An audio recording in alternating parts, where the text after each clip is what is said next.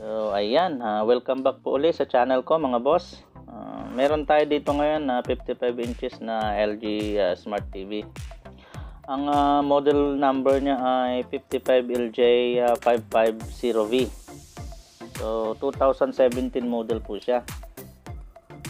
Ah, ito po nagiging kadalasang problema sa mga 2017 model. Yung ah, J series, K series, yan po nagiging blue yung ah, display niya. Uh, try natin sa test pattern. So, testing natin siya sa white pattern. Ayan, white po yan pero bluish ang kulay. Ito naman sa red, hindi siya masyadong halata. Sa green, ayan, ah, may mancha po siya ng blue tapos blue. Ito naman gray. Kaya lang bluish din siya. Hindi siya pure gray. Marahil po sa iba alam na tong ganitong problema. Pero para sa mga bago pa lang at sa hindi pa nakakaalam eh share ko po sa inyo kung anong dahilan kung bakit naging ganito ang kulay naging bluish display siya kaya kung uh, bago ka lang sa channel na to, subscribe na po at uh, pakihit na rin ng uh, notification bell para updated kayo pag uh, may i-upload tayong bagong video.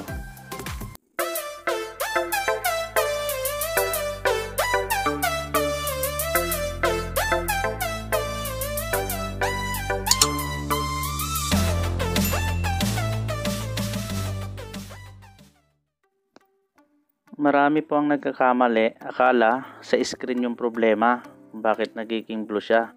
Pero hindi po. Wala po sa screen, wala sa T-con, wala sa motherboard, wala rin sa power supply.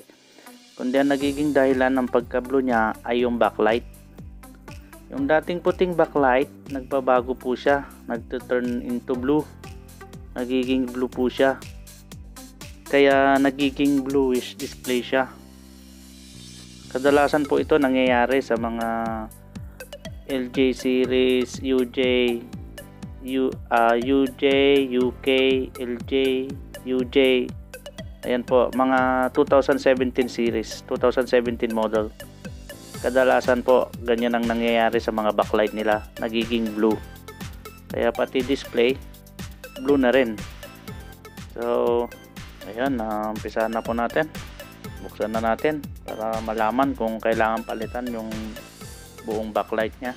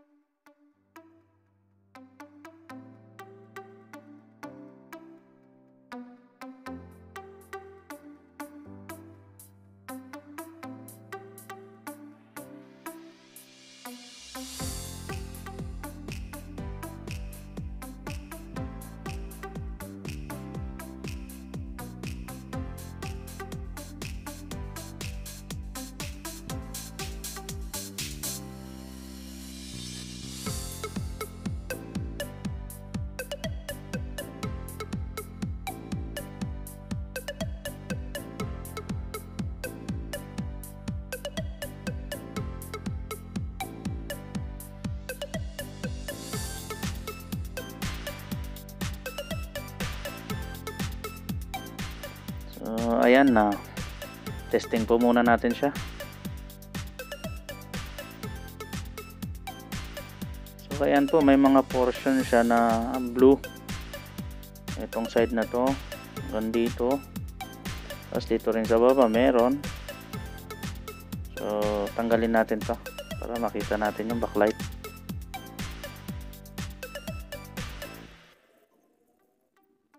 So, ito yung mga nag-ibang kulay. Ito, blue, blue, blue. Pero yung iba, papunta na rin sa blue.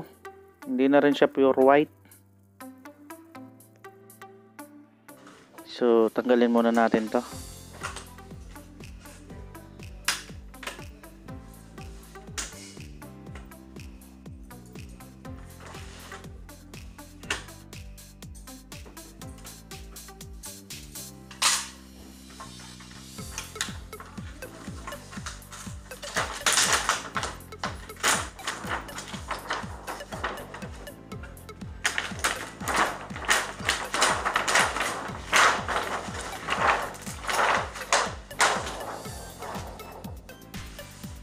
Try natin ulit.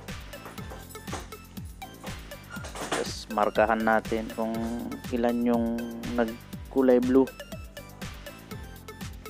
Isa dalawa tatlo. Marami. Isa dalawa tatlo apat lima anim pito walo siyam sampu labing isa, labing dalawa, labing tatlo, 13. Ayan, 14.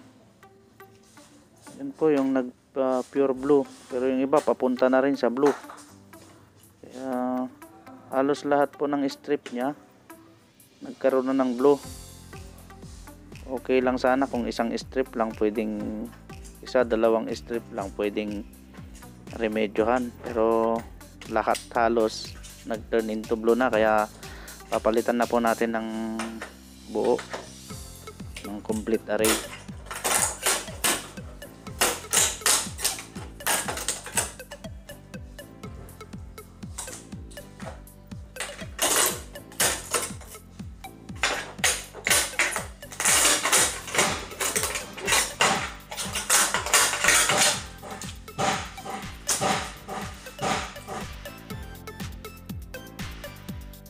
ito po yung papalit natin.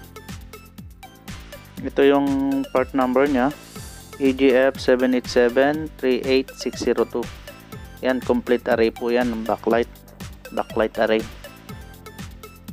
Isang set po yan. So palitan muna natin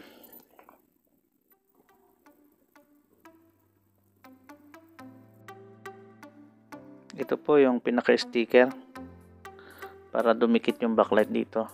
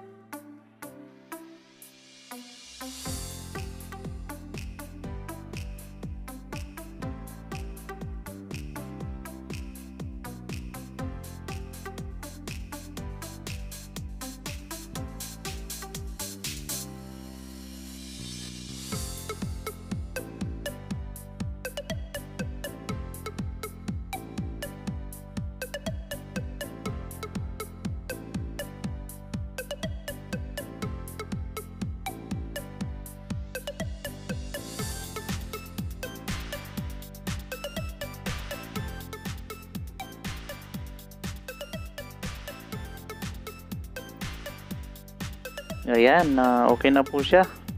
Pure white na siya. Hindi kagaya kanina, blue. Blue ang kulay. Ayan, white na. Pure white na siya. So, i-assemble na po natin para matesting natin yung display kung normal na siya.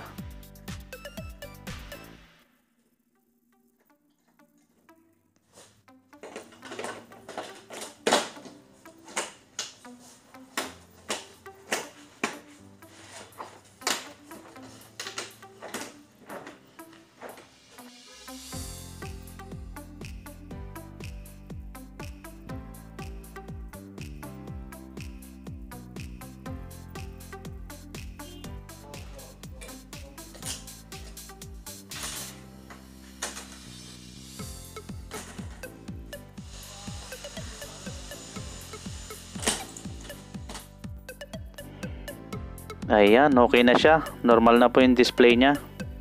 Hindi na siya blue display. Sa backlight lamang po ang problema.